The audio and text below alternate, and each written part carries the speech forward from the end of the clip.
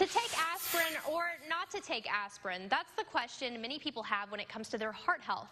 Reed Binion takes on this age old question in today's Health Minute. An aspirin a day has long been held as sage advice when it comes to preventing or staving off a second heart attack or stroke. But according to new research published in the Journal of the American Medical Association, the benefits may not outweigh the risks for patients without a history of heart disease.